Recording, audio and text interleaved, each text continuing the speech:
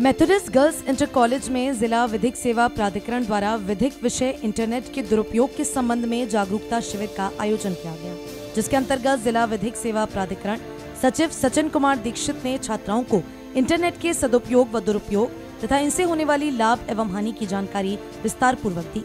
साथ ही नायब तहसीलदार, नगर तहसील सदर गौरव विश्नोई, कानूनगो रामनाथ तथा कविता रोहतकी ने भी इंटरनेट से संबंधित जानकारी छात्राओं को दी। इस शिविर में लगभग 200 छात्राओं ने प्रतिभाग किया। अंत में विद्यालय की प्रधानाचार्य डॉक्टर सुनीता डी सिंह द्वारा सभी का आभार व्यक्त किया गया।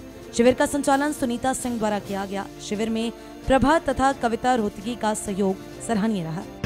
आज हमारे विद्यालय में जिला विधिक सेवा प्राधिकरण द्वारा एक कार्यक्रम था जो कि अवेयरनेस प्रोग्राम था। और इस अवेयरनेस प्रोग्राम में बच्चों को ये बताया कि आज के समय में जो मोबाइल है या मीडिया है, इतना ज़्यादा मुखर हो चुका है और सब लोग इसके पीछे हैं।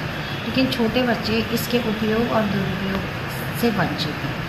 उपयोग के बच्चे ज़्यादा से ज़्यादा अपनी स्टडीज़ पे और अपनी नॉलेज को एनहेंस कर सकते हैं।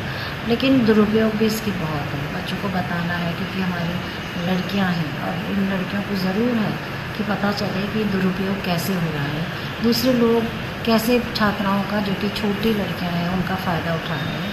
और उन्हें भी, अगर जब वो इनको हैंडल कर रहे हैं तो कैसे हैंडल कर रहे हैं? तो ये बात बहुत ही विस्तार के साथ बताई गई।